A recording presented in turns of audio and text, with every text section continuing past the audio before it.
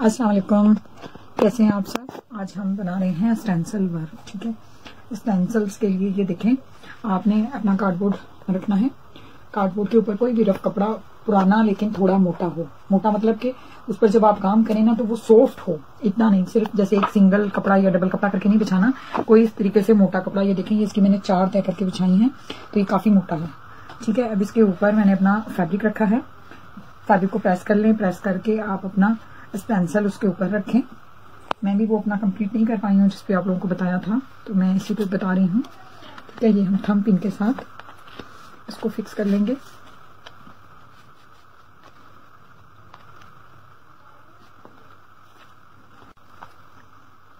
ठीक है, ये हमने इसको सारे को थम पिन के साथ फिक्स कर लेना है, ताकि जब हम काम करें तो हमारा ये तो बिल्कुल भी ना। नीचे कार्डबोर्ड ये रखना भी बोर्ड इसीलिए है, ताकि अगर आपका टेबल लकड़ी का नहीं है तो थम पिन अंदर इंटर नहीं होगी। ठीक है, अगर आप बोर्ड नीचे रखेंगे तो बोर्ड पे तो वैसे भी हम थम पिन के साथ ही अटैच करके काम करते हैं तो इजीली चली जाएँगे। इसके लिए सॉफ्ट होना उस जगह का ज़रूरी है, जहाँ बैठकर आप उसको मतलब बनाएँगे। अगर इस तरह से अगर कुछ भी आपके पास कोई ऐसी जगह नहीं है तो आप इस तरीके से खुद उस जगह को तैयार करेंगे। जैसे जो मैंने की है कि आप इसके ऊपर कपड़ा रखा है, ये देखें ये सॉफ्ट सी लुक है। ठीक है ये मैंने फॉर्म की पोटलियाँ बनाई हैं, जो मैंने आपको फॉर्म बताया था, ये देखें इस तरीके से। इसको थोड़ा सा बड़ा करके बना रही हूँ। एक छोटी भी ली है कि अगर कहीं हमें ज़रूरत पड़ी, हम छोटा भी यूज़ कर लेंगे। आप इसके ऊपर कोई भी थ्रेड इस तरीके से इसको टाइट करके यहाँ से बाँध लें। ठीक है? ये आपकी पोटली तैयार है। ठीक है? इससे हम कलर अप्लाई करेंगे। मैंने थ्री कलर बनाए हैं। बिल्लू कलर ब्लैक कलर और आदशी कलर। ये मैट कलर है बिल्लू और ब्लैक और आदशी दोनों पर्ल कलर हैं। ठीक है, फ़िलहाल मैंने कोई और कलर नहीं बनाया, मैं वही कलर यूज़ कर रही हूँ फैब्रिक पैंट वाले। ठीक है, इसको सिंपल उसी तरीके से बनाया है, जैसे हम फैब्रिक पैंट कलर बनाते हैं बाइंडर और वो डाल के कलर।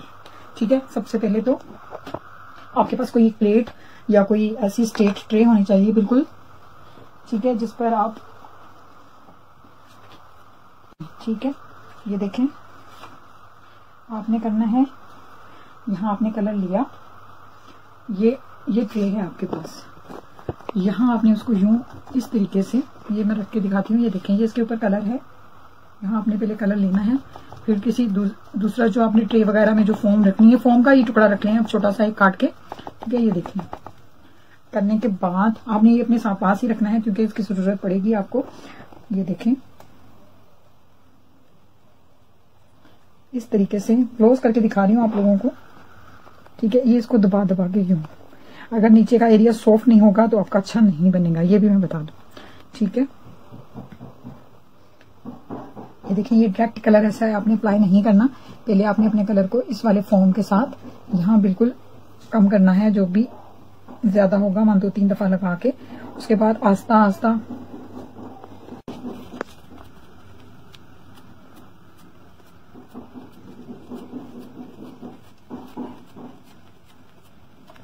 ठीक है, ये देखिए।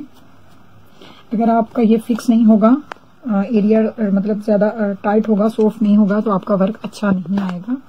ठीक है, जैसे मुझे किसी एक स्टूडेंट ने दिखाया भी था, उसका काम ना अच्छा होने की वजह ये थी। ये देखें आपने सिर्फ़ इसके जिस जहाँ जहाँ आपको चाहिए, सिर्फ़ आप उस वाले बॉक्स में कलर अप्लाई करेंगे। सारों में एक साथ नहीं करना। ठीक है? ये देखें यहाँ इस तरीके से हम इसको पहले अपना सेट कर लेंगे। सही है, हमारा कलर एकदम से ज़्यादा नहीं जाना चाहिए। उसके बाद ये देखिए। यूँ, बिल्कुल प्रेस करके। यूँ यूँ ज़ोर से नहीं मारना आपने। एकदम से नहीं मारना। ठीक है, आराम आराम से। ये देखें उठाना है, वज़न देना है प्रेस करना है, फिर उठा लेना है, फिर रखना है प्रेस करना है, यूँ। ठीक है, वो कलर ऑटोमेटिक नीचे जाता जाएगा। इसी तरीके से ये देखें जहाँ पर आपको लगे ना मेरा कलर नहीं जा रहा, वहाँ आप यूँ थोड़ा सा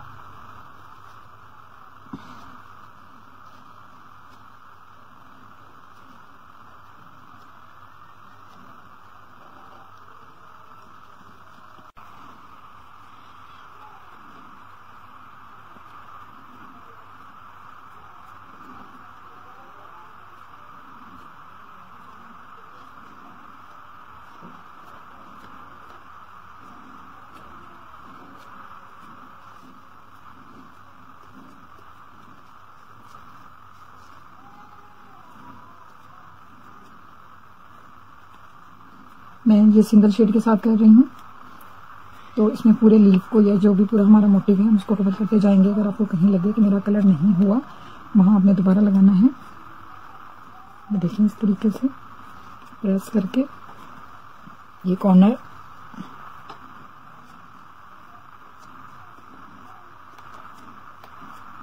बहुत ज़्यादा कलर आपने एक दिन अप्लाई नहीं नहीं करना, बिल्कुल भी।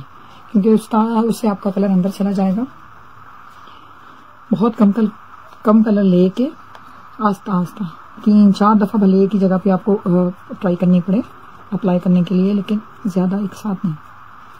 ये देखिए, इस तरीके से जो छोटे होंगे, वो तो एक दफ़ा में हो जाएँगे ये कॉर्नर बच रहे हैं। ठीक है, ये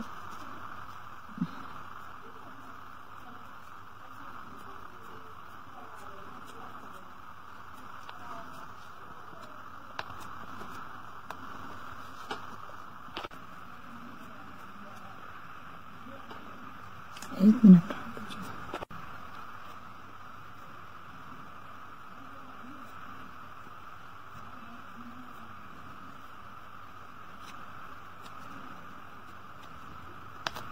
ठीक है, इस तरीके से आपने इसको अप्लाई करते जाना है। उम्मीद आप लोगों को समझ आ गई होगी।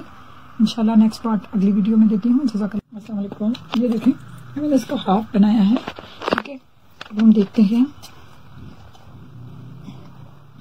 इसको हम आस्ता से उठाएँगे।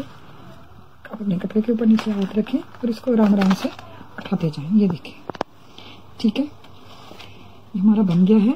अच्छा इसमें आप लोगों को एक चीज़ थोड़ी सी और क्लियर कर दूँ कि अगर ये फुल और ज़्यादा फॉर्म होती, अभी मैं सेकंड शेड में आप लोगों को बता दूँगी, फिर और ज़्यादा अच्छी बनती। ठीक है? तो हम इसको क्या करेंगे? ब्रश लेंगे।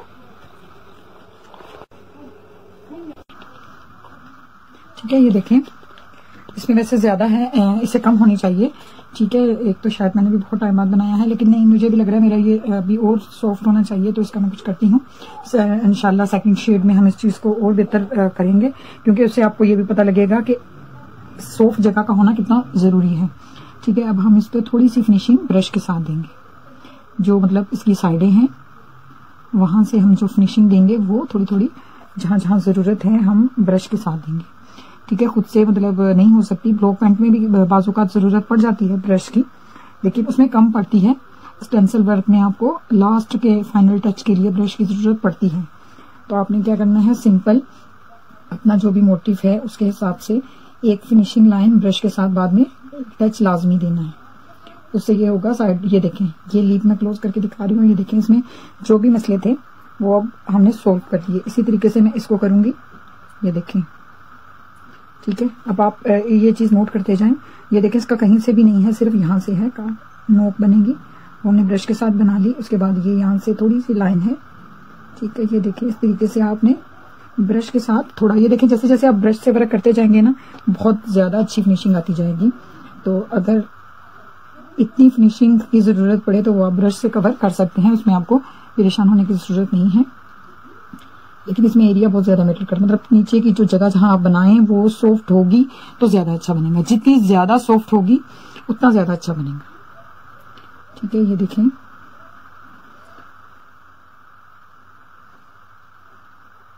तो इस चीज़ से टेंशन नहीं लीजिएगा कि सिर्फ़ स्टेंसिल्स के साथ हमारा परफेक्ट नहीं बना इनशाला आप जब ब्रश के साथ निकाल का टच देंगे तो आपका पूरी फिनिशिंग के साथ जब डिज़ाइन बनेगा तो फिर आपको कोई मसला नहीं होगा। आपने कलर भी उसमें वही यूज़ करना है और ब्रश आपने ज़ीरो साइज़ का यूज़ करना है।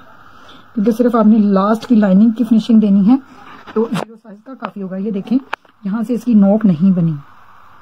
ठीक है? तो आपको ये चीज़ आ रहा है, आपका मोटिव होगा, आपने उसको काटा हुआ होगा तो आपको पता होगा। ठीक? इसको भी हम थोड़ा सा स्केट कर लेते हैं, क्योंकि ये इसी तरह था।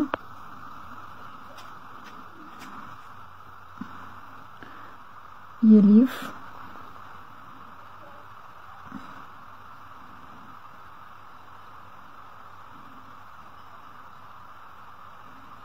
ये और इसका यूज़ भी मैं आपको बताती हूँ। आपने इसको भी फैब्रिक पेंट की तरह थ्री मंथ ढाई मंथ मतलब ढाई तीन महीने तक अगर आप इस फैब्रिक को वॉश करने से बचा लें बेशक यूज़ करें, लेकिन वॉश करने से बचा लें तो फिर हंड्रेड परसेंट होता है कि आपका कलर कभी भी नहीं हटता। लेकिन अगर आप फ़ौरन मतलब कुछ ही दिनों के अंदर उसको वॉश कर लें तो फिर कलर के निकल जाने का खतरा होता है। ये नहीं कि नहीं होता। ठीक है फैब्रिक पेंट हमेशा आफ्टर टू या कम से कम भी टू और ज़्यादा से ज़्यादा जो बेहतरीन रिज़ल्ट है ना, जिसको कहते हैं हंड्रेड परसेंट रिज़ल्ट वो मैंने जो जमा के देखा है थ्री थ्री मंथ में आता है। ठीक है थ्री मंथ से कम में मैंने नहीं किया। मैंने तो जब जब उसको मतलब यूज़ किए हैं, कपड़ों पे बना के पहने हैं ड्रेसेस वगैरह बनाए हैं, मैंने उसको आफ्टर थ्री मंथ ही वॉश किया है। ठीक है स्क्रीन पेंटिंग हो फैब्रिक पेंट में कोई भी है, आप उसको आफ्टर थ्री मंथ अगर थ्री मंथ का टाइम दे देंगे ना, वो कलर आपका इतना पक्का हो जाएगा कि वो फिर किसी भी तरीके से निकलेगा नहीं। ठीक है, आप देख रहे हैं कि कैसे ब्रश के साथ इसको पूरे को जो भी मतलब थे इसमें पॉइंट हमारे क्लियर नहीं थे, हमने कर दिए हैं, ठीक है? इसी तरीके से आपने पूरा अपना मोटिव एक दफ़ा लास्ट टच लाजमी ब्रश के साथ देना है। देखिए।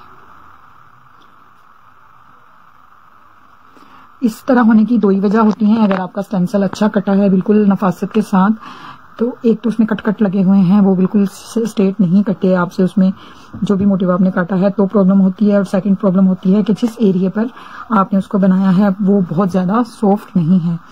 ठीक है?